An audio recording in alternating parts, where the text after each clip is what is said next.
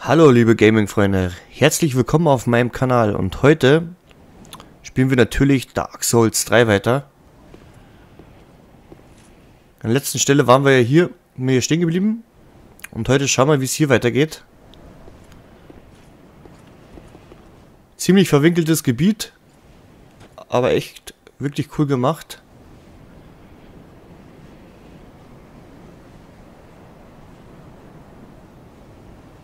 So, dann gehen wir mal hier weiter. Auf jeden Fall gerne mal einen Loot holen.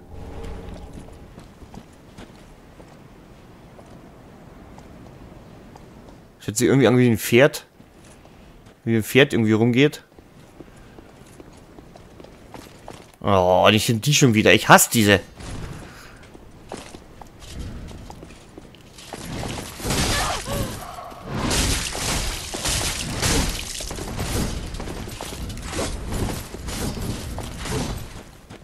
Na komm her. Boah. Ey, jetzt. Stirb!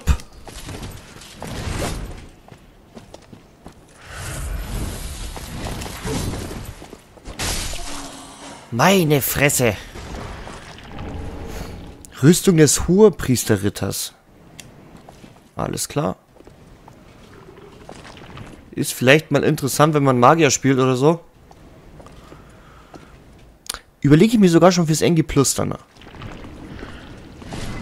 So, jetzt haben wir erstmal den hier, komm. Geht mir sowieso auf den Sack. Komm her.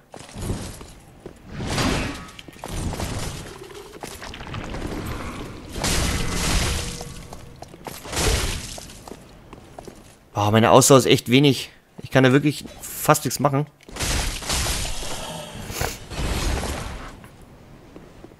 Echt mal vielleicht in die Ausdauer ein bisschen mehr skillen. Dass ich mehr Schläge machen kann. So, okay, Bossraum. Hier ist Bossraum. Alles klar, da gehen wir jetzt natürlich noch nicht rein, weil ich will mir erstmal schauen, dass ich mir alle Wege aufmache, was es gibt.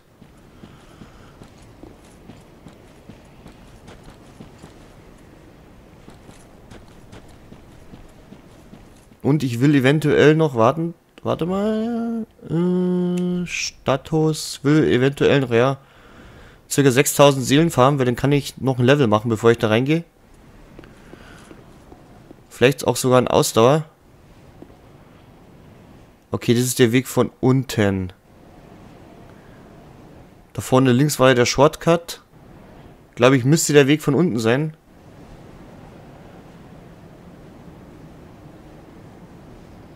Okay, er ist ein Gegner. Wie gesagt, da gehen wir jetzt noch nicht rein.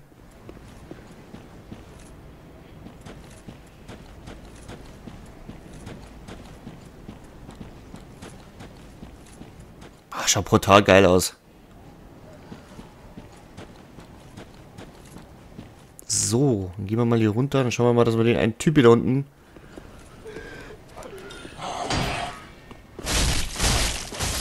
Oh, Schnauze.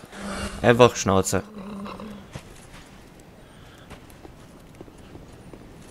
So. Glut. Sollte auch so mal vielleicht mal probieren, bei den Bossen mit Glut zu spielen. Habe ich noch gar nicht gemacht. Aber habe natürlich einen Vorteil, ist klar. Wenn man einfach mehr Leben hat. Nein. Wo kommt denn der jetzt her? Da war doch gar keiner da.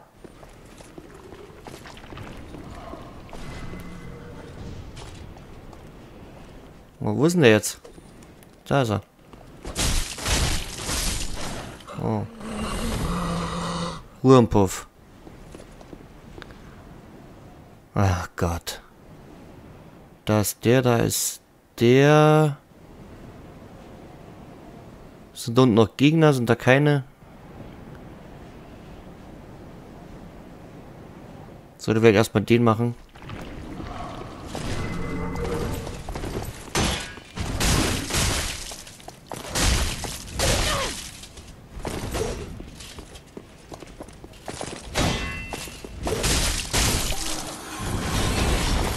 So, okay. Das war's mit dem.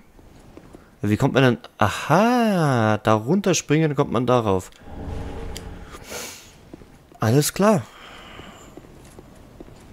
Das werden wir aber gleich machen. Ich will bloß noch den einen Blitztyp da hinten erledigen. Warum ist hier eine Treppe nach oben? Ist ein Geheimgang oder so? Alles klar. Magieklauenring. Schauen wir uns gleich an. Magieklauenring. Erhöht magischer Angriff auf Kosten der Schadensminderung. Ring mit dem Motiv einer Hand, die nach einem blauen Stein greift. Ihr erhöht magischer Angriff auf Kosten der Schadensminderung. Einer alten Fabel aus London zufolge hat der Klauenring einen besonderen Reiz auf die Mutlosen, die andernfalls der Verzweiflung erliegen würden. Okay. So, ist hier noch irgendwie was los? Jetzt machen wir aber erstmal den da hinten.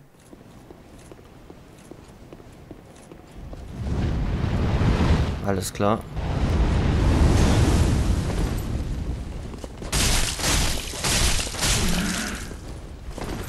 So.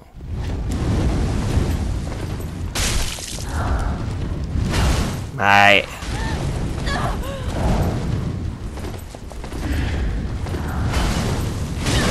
Boah.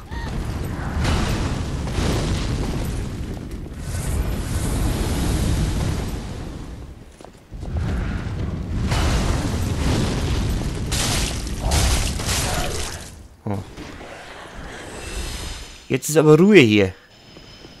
Es ist Ruhe. Okay. Ah, also wären wir bloß hier reingekommen. Okay. Schauen wir mal, was hier lang geht.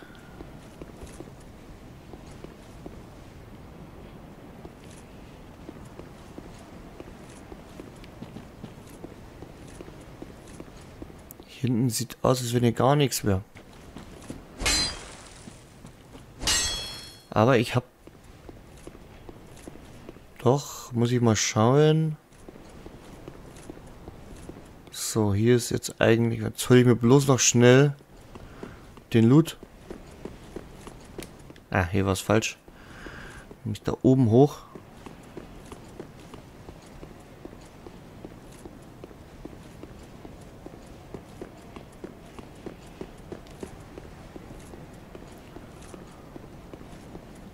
So, okay, dann gehen wir mal hier runter. Optimal. Ring des Sonnenerstgeborenen. Schauen wir uns natürlich auch an. Äh, Ring des Sonnenerstgeborenen ver verstärkt Wunder enorm. Der Ring des Erstgeborenen der Sonne, der das Licht des ersten Fürsten Gwyn erlebte. Er verstärkt Wunder enorm.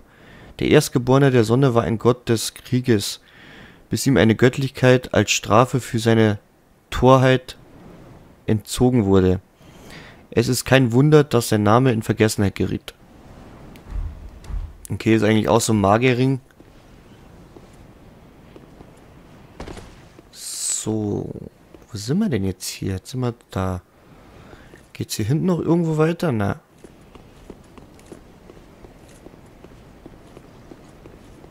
Hier oben waren wir noch nicht.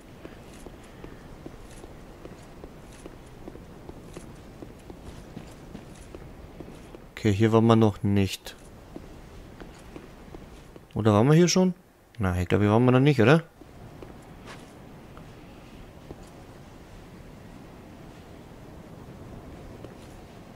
Ah, okay, okay, verstehe, verstehe. Leuchtfeuer. Leuchtfeuer heißt, wir können von hier Normalerweise ungestört hier rüber und zum Boss hoch.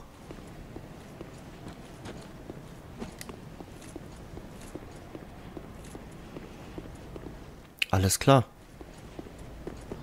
Das ist ja sehr schön. Wir sind ja gleich beim Boss.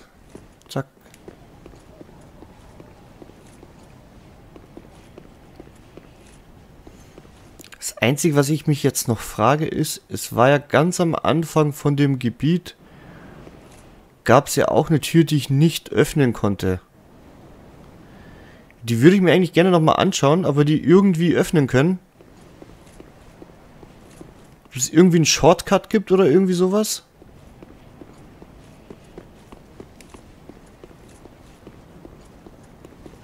Äh, dann gehen wir nochmal hier lang.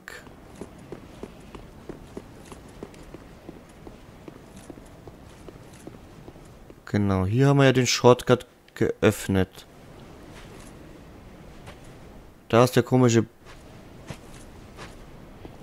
Brennidiot. Da sind die zwei. Okay.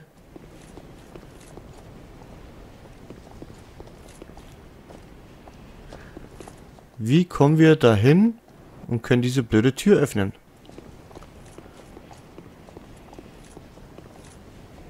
Hier ist dieser Shortcut. Also nicht Shortcut, aber hier ist das Leuchtfeuer. Können wir hier vielleicht lang? War ich hier schon? Ich glaube, hier war ich noch nicht. Aber es sieht so aus, als wäre hier auch nichts. Also ist wieder irgendwie eine Mauer, die man aufhauen kann. Okay, hier ist nichts.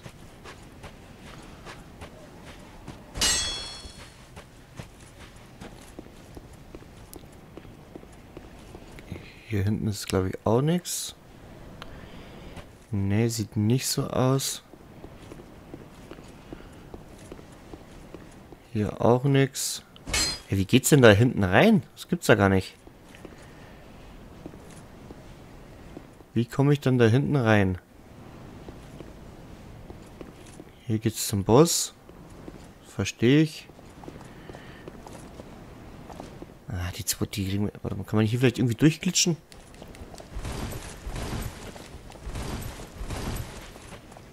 Ja, sieht so aus, wenn da auch noch so eine Ebene ist.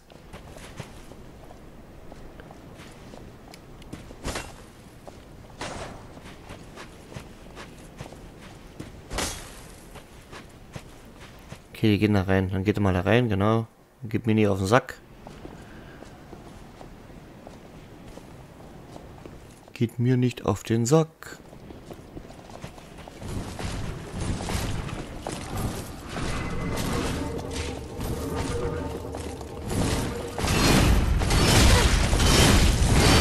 Naja, ist doch...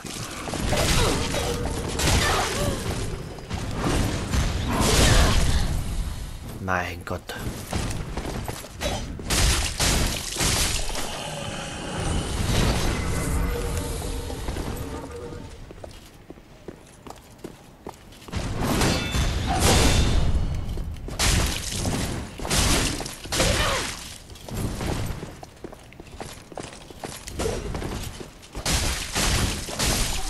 So, Schnauze. Ruhe im Puff. Was die noch machen will, sonst geht er mir richtig auf den Sack.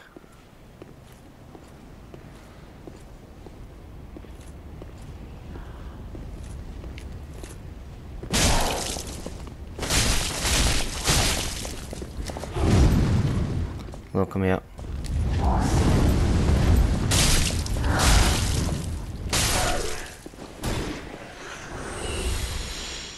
So, dann haben wir den auch. Sieht fast aus, als wenn man da irgendwie hoch müsste. Aber wie komme ich denn da hoch? Da hinten komme ich doch gar nicht hoch, das ist doch eine Wand.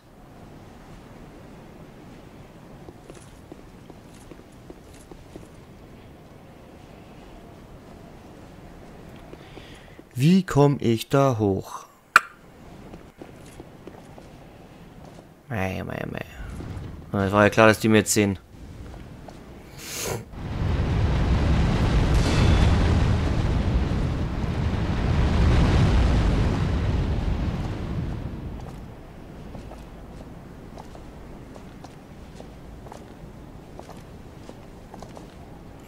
Da geht's auch nicht lang, oder? Kann man da irgendwie rüberspringen?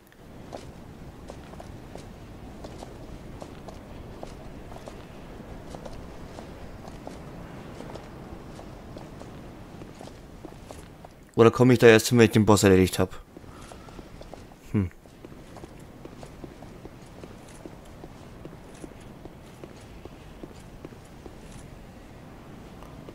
32.000 Seelen. Dann kommen wir auch nicht rüber. Okay, Leute, ich würde sagen, ich gehe jetzt nochmal zurück zum Feuerbandschrein, werde ein Level machen.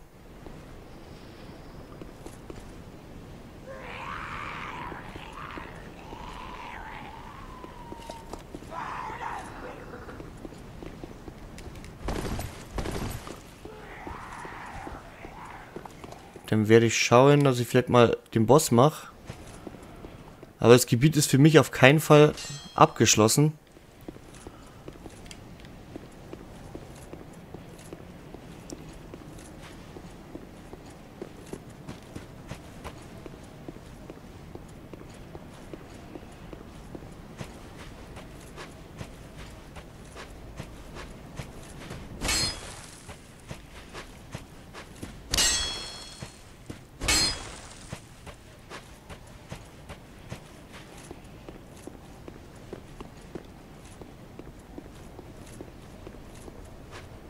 Hm.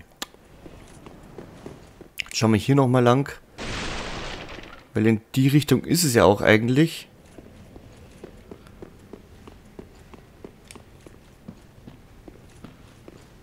Mal den nochmal schnell killen. Und den da gleich nochmal. Da kann man die irgendwo runterspringen oder so. Ah, glaube ich eher nicht. Ich glaube, da springe ich in den Tod. Okay, dann muss es ja eigentlich hier irgendwo weitergehen.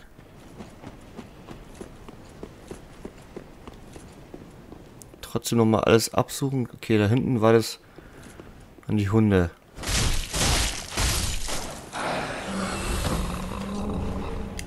Hier waren die Hunde. Und hier geht es ja eigentlich nur runter.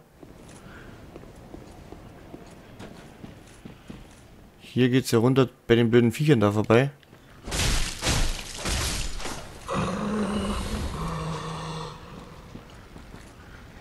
Hinten war die Kiste.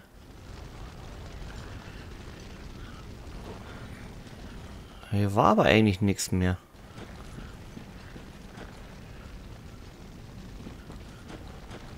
So, ich probiere jetzt einfach mal durchzurushen.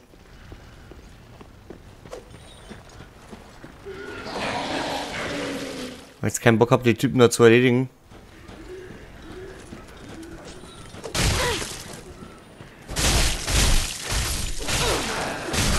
Nein.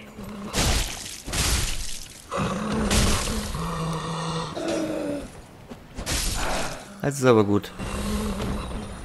So. Jetzt mal aber wieder hier am Anfang. Und ich wollte eigentlich da hinten...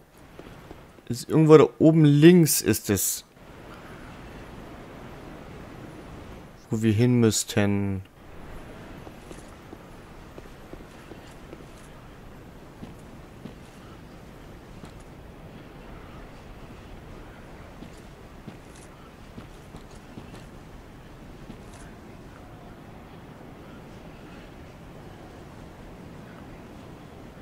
Okay, das ist hier unten.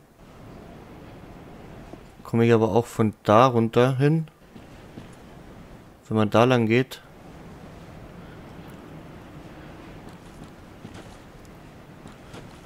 Ah, kann er da trotzdem mal gehen. Mit ist hier irgendwo was. Schaut nicht so aus. Aber geht's auch ganz schön runter, oder?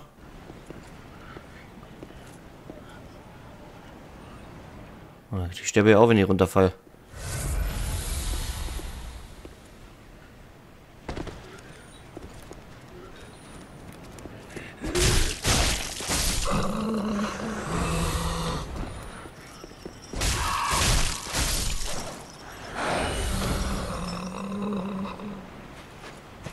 Ist hier vielleicht irgendwas Verstecktes?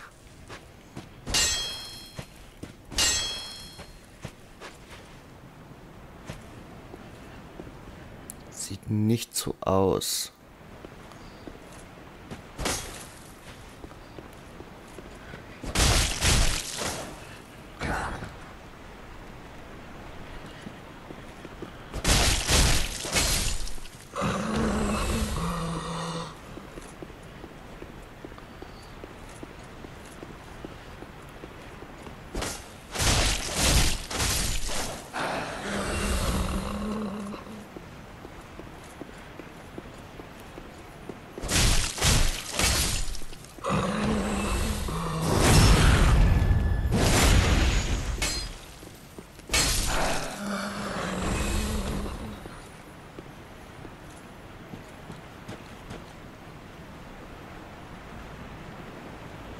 Hier ist bloß ein komisches Wurmvieh.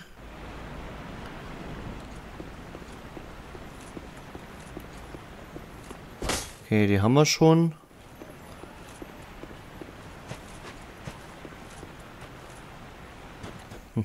hm.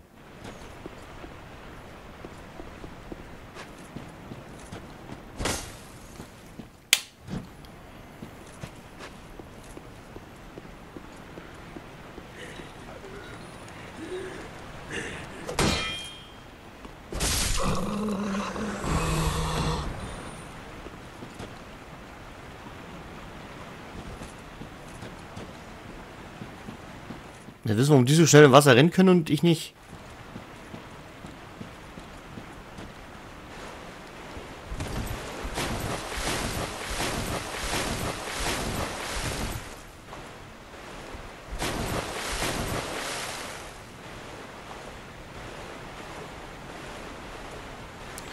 Okay, das ist das eine Ding da von oben gesehen.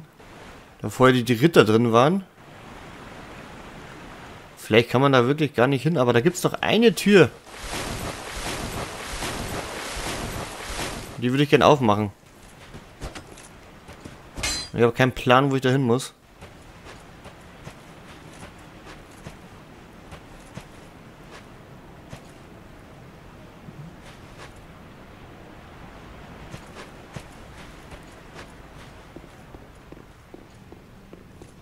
Jetzt sind wir wieder an dem Leuchtfeuer.